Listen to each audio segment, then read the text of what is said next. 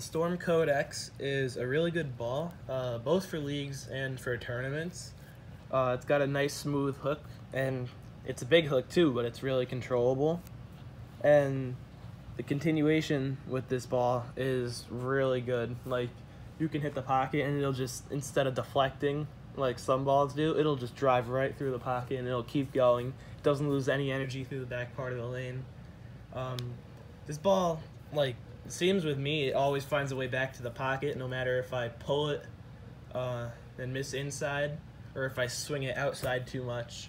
If I pull it inside, it seems to just sit there in the oil and it'll either hit just a little bit high or it'll crush the pocket.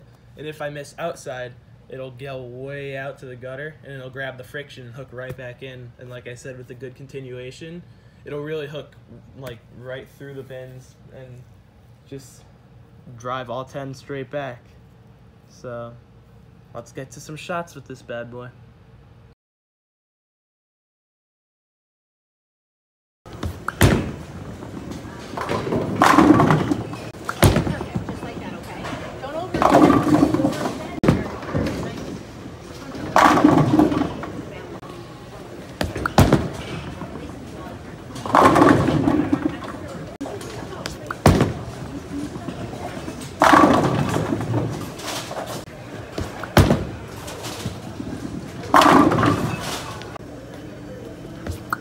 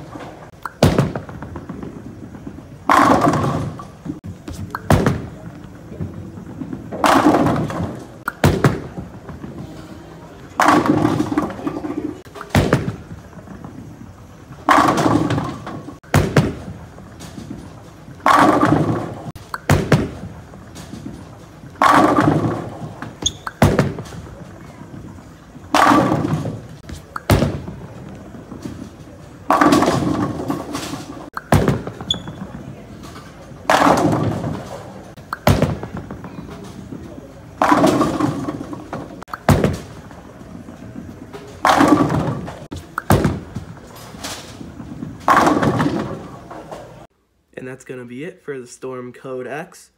Uh, this ball, as you can see, starting from the very beginning of the ball review, slapped out the 7 pretty nicely, had some good carry.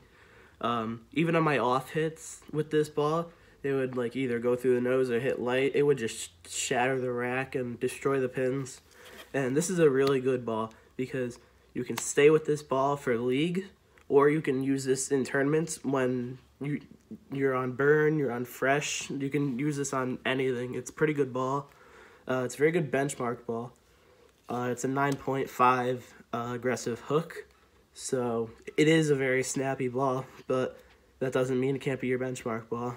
And I'm not sure if this ball is still available or not. I think it is, but if it is, go buy this ball. This is an amazing ball, as you can see from the video. See you next time in the next ball review, and stay tuned for this blooper.